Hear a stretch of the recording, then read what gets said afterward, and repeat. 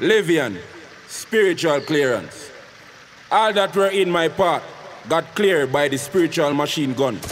And them that didn't want to move got a present, casket and grave. Some got cut like a waka man cutting yard. Spiritual AK burst in some and tear away ligament and burst skull. Stubborn they were, so they felt the power of the spiritual pumpy. None was left in my way. They all got destroyed by their own demons and spirit. Sudden chaos hit them like a fast car to pedestrian. I watched them had to run out of my way like police run out of a mad car drive away that don't want to stop. The Lord cleared my path and left all that was holding me back, lifeless like a fish out of water. The seed that they wanted to plant in my soil got rooted up. None of their plans manifested on me. My enemies had to watch me grow and bear like a fruit tree, and none could pick from my limbs. Their every plot for my life got cancelled and reversed on them. They reap all that they sow and had to eat and swallow. I watched destruction taking them like biting ants to dead animal. Disappointment washed their face like face soap. Every step that they took, they fall. Every plan that they had for my life got cancelled. When they make negative comment to get my reaction, I gave them none. All haters got blocked and delete.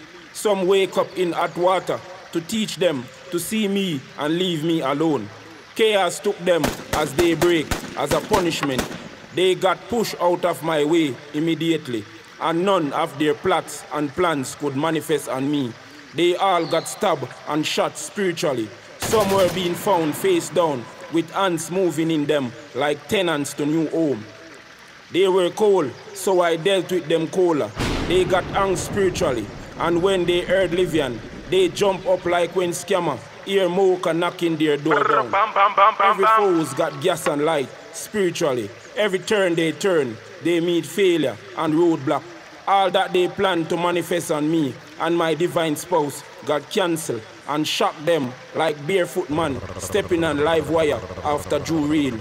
Death was written beside their name like Hardy on the front of a Hardy van. Now they can't get to me no matter how hard they try.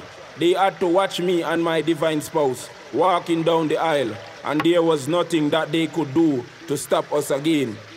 Guiltiness was eating them up from within. The public saw that I was telling the truth and they were telling the lies. Their rumors only promoted me instead of bringing me down. The spiritual MP5 thump and tear them like tiger claws to pig flesh. No matter who they were, small axe cut down big tree. Spiritual clearance was written beside my name. I was war and not peace. The Lord and God shield me from their every attack and put them to shame. I left all doubters silent like a plug out radio.